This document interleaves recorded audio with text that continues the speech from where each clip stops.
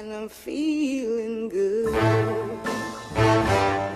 Oi, gente, então vamos falar hoje sobre o famoso assunto desapego. Essa é uma parte do nosso canal que vai falar sobre as reflexões que eu gosto de fazer. Vou começar pelo assunto que eu acho que é o que a galera mais gosta de ouvir, que é o desapego. E muito se engana quando a gente fala do desapego em si, e você acha que você deve então ficar sozinho. Eu lembro que eu falava muito sobre esse assunto e quando eu comecei a namorar com o Matheus, as pessoas perguntavam: Nossa, Chantal, mas você não era toda desapegada, tá aí namorando, cadê o desapego? O desapego, ele não é ficar sozinho, ele é você não colocar a sua felicidade nas mãos de ninguém. Então eu vou tentar dar um exemplo sobre isso. Eu não sei porquê, eu acho que homem tem um pouco mais essa questão do desapego saudável com eles. Um homem tá com um amigo em casa fazendo um churrasco e aí o amigo pede uma camiseta emprestada. Não tô falando só do desapego do homem com mulher, não. Ah, amigão, me empresta aí uma camiseta. Vai lá no meu armário, pega lá, escolhe. Aí o amigo vai lá, escolhe bem a predileta. Aí o que que acontece? Pode usar. Não, ótimo, é minha predileta, mas pode usar. O amigo que pegou emprestado nunca devolve, ainda usa várias vezes, zoa da cara do amigo, haha, tô com essa blusa. O outro não tá nem aí, agora se fosse mulher. Menina, você viu que fulana pegou um dia, veio aqui em casa, precisou usar uma roupa emprestada, nunca me devolveu, olha que feio. Isso foi só um exemplo para mostrar que acho que mais ou menos o homem tem um pouquinho mais desse, desse desapego do que a gente. Eu não sei porquê,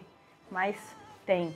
Eu não falei todo mundo, tá, gente? Falei a maioria. Eu acho que assim, a gente nasce, morre sós. A gente não precisa de ninguém, a não ser da nossa mãe que vai parir a gente, né? Então, eu, eu acho que tudo que, é, que a gente não leva quando a gente morre, uma coisa que não é necessária, assim. A gente não precisa ter apego. Acho que a gente tem que ter apego com coisas mais da cabeça do que com coisas materiais. E o material eu não estou dizendo só coisas físicas, de pessoas, de coisas então, o desapego saudável é você não colocar sua felicidade nas mãos de nada ou ninguém. Você não pode ser feliz só se você tiver filme para assistir toda semana, só se você tiver o seu esporte para fazer, só se você tiver um namorado. Isso tem que ser uma coisa a mais, uma coisa que te faça bem.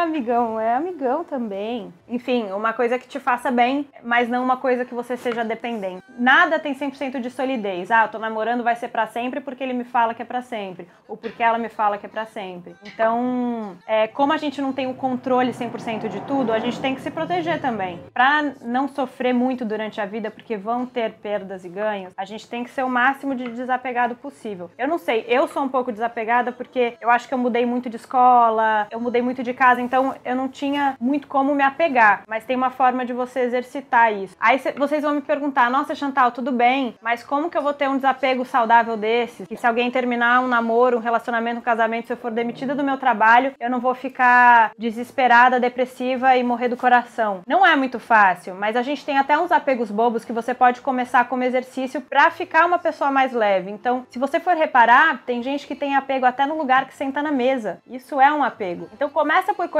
pequenas. Ah, eu vou desapegar do meu lugar na mesa hoje e vou deixar outra pessoa sentar. Ah, eu vou desapegar dessa vaga do meu carro, eu vou desapegar da minha luva de boxe predileta, eu vou desapegar daquela roupa que eu adoro e vou emprestar para minha irmã. Então começa com pequenas coisas. Eu tenho que desapegar do meu chiclete. Me deu um chiclete e meio. É prova de amor. E lógico que eu fiz ela oferecer pra equipe inteira que ela odeia que pegue o chiclete dela. Mas enfim, voltando. Começa a desapegar de pequenas coisas, começa a se sentir mais segura com as coisas também, principalmente relacionamento, começa a deixar as pessoas mais livres, ter mais segurança em você mesmo, que daí você vai ver que vai virar meio que uma postura sua, vai virar uma coisa sua de dentro e vai te fazer muito bem, porque você vai conseguir lidar com todas as perdas da sua vida de uma forma muito mais fácil. Então, acho que começar por pequenas, por pequenos, pequenas coisas, pequenos apegos é o, é o mais fácil. Eu só não desapego do Hat. Ele é muito fofinho e eu amo ele. E ele tá vestido de batata frita.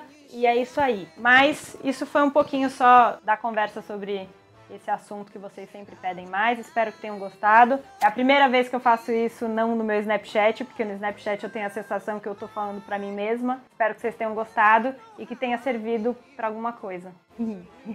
e não se esqueçam de, de assinar o nosso canal, mandem sugestões, mandem principalmente sugestões nesse caso de hoje, do que vocês querem ver nessa parte das reflexões. Espero que vocês estejam gostando. E curtam! Curtam lá! Um beijo, gente. Até semana que vem com o Matheus. A gente vai ter outra coisa para aprontar e mostrar para vocês. Pega nós. Pega nós.